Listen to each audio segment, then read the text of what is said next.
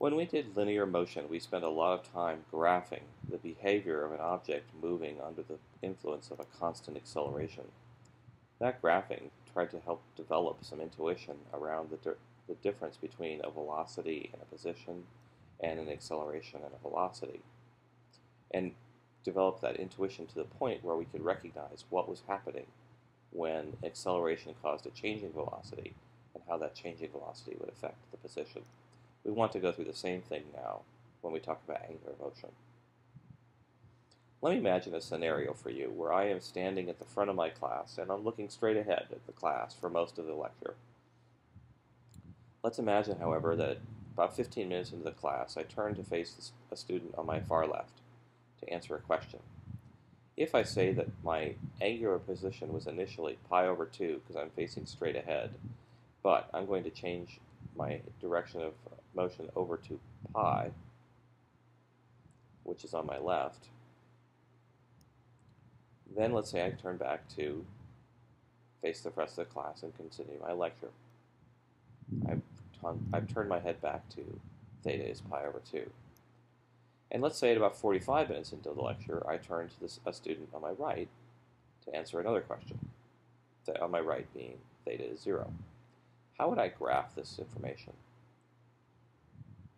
Well, I would do the same thing that I would do in a, a graph of position versus time, except now I'm going to plot my theta, or angle versus time. And I would need the graph to go from 0 to pi, and most of the time I spent my, my direction being at theta is pi over 2. So the graph would look like this. It would initially start out for the first 15 minutes being at pi over 2 and constant. And then 15 minutes into the class, it jots over to being at pi, and then it comes back. Then I continue my class until 45 minutes into the class, and my head juts over to the left, excuse me, to the right, which is theta 0, and then resumes back to teaching class, and class lets out at 60 minutes later, or 60 minutes.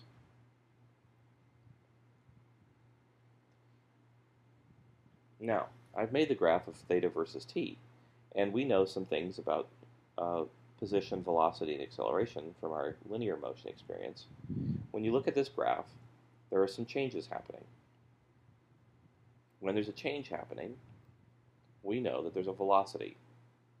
And so we have to look at parts of the graph where there's a slope and say that there's an angular velocity. So let's take a look at what angular velocity would look like. Remember that velocity represents the change in position in the linear case. So velocity equals delta x over delta t.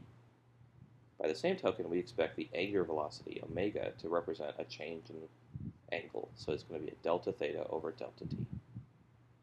Or for those of you comfortable with calculus, this is a d theta over dt.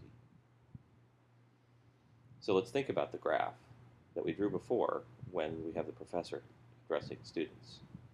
Graph of theta versus t looked like this. There are a couple locations where the theta is changing.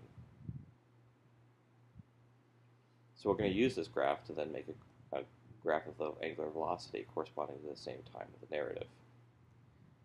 Velocity is always going to be the slope of position versus time, or the derivative, if you want to talk about calculus. So for the first period of this class, there is no slope. The slope is zero for the theta versus time graph. And as a result, omega is going to have a value of zero. However, the slope in this region of the graph is positive, and so omega has to be a positive value. It's constant during that time. Then omega is zero right here because the slope of this theta versus time graph is zero. And then the slope of this graph is negative, and so omega comes down here as negative for a little while. Then omega, the angular velocity is zero for a while, and then the reverse happens. The slope goes negative, and then it's zero, and the slope goes positive. And then we go back to not moving anymore. So omega is zero. Notice that sometimes omega is a positive number, and sometimes it's a negative number on this graph. This has the same meaning that we've seen previously. Omega is greater than 0 means that theta is increasing. Omega is less than 0 means that theta is decreasing. Omega equal to 0 means that theta is constant. So there are some examples of each of those cases on these graphs. The dotted orange line is crossing the graphs at exactly a point where omega is greater than zero. In other words, theta is increasing. The dotted green line is crossing both graphs at a point where omega is less than zero because theta is decreasing. And the dotted blue line crossing the graphs at a particular point where omega equals zero. There are many more points that we could have crossed over or, or highlighted, but these three certainly satisfy the three conditions I've shown. Let's refine our graph of angular velocity just a little bit, because there's something slightly unrealistic about this graph. As you know, an object that's moving along has to ramp up to its eventual speed. It can't just uh, be at that speed all of a sudden. And also, it can't just halt to a, a grind to a halt instantly. It can't just instantly stop. So a better graph for omega is one in which the, the object may have been out here at uh, omega of zero, it's not moving, but it ramps up to this final speed. Maybe it coasts at that speed for a little while, and then it ramps back down to zero. And then, by the same token, it may have to ramp down to some negative angular velocity. It can coast there for a little while, and then it has to ramp back up again to be back up to uh, omega zero. We can't just have the object start instantly or stop instantly in the same way that a car doesn't get to 60, second, 60 miles per hour in zero seconds. It has to ramp up to that speed. Or the wheels of the car, if we're thinking about the rotational aspect of it, have to ramp up to some rotational velocity. They can't just be at that rotational velocity. And the wheels of that car have to ramp down to omega zero. They can't just instantly stop.